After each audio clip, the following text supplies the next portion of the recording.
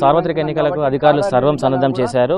ప్రస్తుతం మనం ఆ, డిస్ట్రిబ్యూషన్ సెంటర్ వద్ద ఉన్నాము. ఇక్కడ జిల్లా కలెక్టర్ గారు మనకు అందుబాటులో ఉన్నారు. వారితో మాట్లాడి ఎన్నికలకు సంబంధించిన వివరాలు ఏర్పాట్లు మిగతా విషయాలు తెలుసుకునేటువంటి ప్రయత్నం చేద్దాం. సార్ చెప్పండి ప్రధానంగా ఈ ఎన్నికలకు సంబంధించి భారీ ఎత్తున గతంలో కంటే భిన్నంగా కూడా మంచి ఏర్పాట్లు జరిగినట్టుగా కనిపిస్తుంది. ఎట్లా దీన్ని మనం ఎట్లా అర్థం చేస్తాం మనం పోయిన నాలుగు నెలల నుంచి నేను మనం కృషి చేస్తున్నాను. ముఖ్యంగా సెక్టర్ ఆఫీసర్స్ అదేవిధంగా model code of conduct flying squad టీంతో పాటు ఇరవై నాలుగు వేల మంది పోలింగ్ సిబ్బందిని దీనికోసం వాడుతున్నారు. ఇవి కాకుండా ఏడు వేల మంది పోలీస్ సిబ్బంది కేంద్ర బలగాలతో పాటు వాడుతున్నాము. రెండు వేల మూడు వందల పద్దెనిమిది పోలింగ్ స్టేషన్లో. ఈరోజు పది సెంటర్ నుంచి డిస్ట్రిబ్యూషన్ జరుగుతూ ఉంది.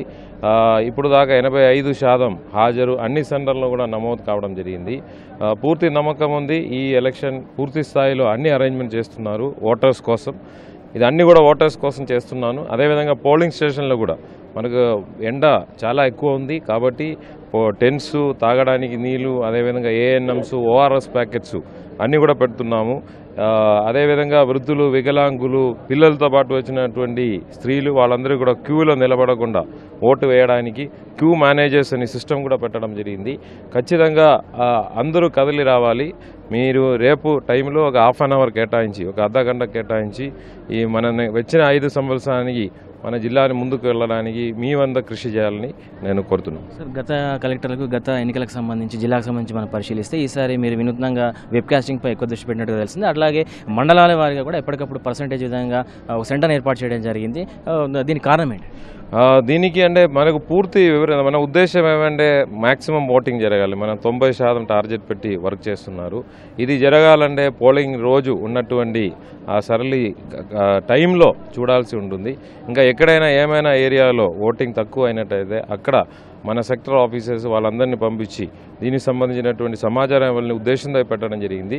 అదేవిధంగా టైమ్లీ రిపోర్టు బట్టి మనకు ఏమైనా సంఘటనలు జరగకుండా లా అండ్ ఆర్డర్ కూడా చాలా మంచి ఇది అవుతుంది.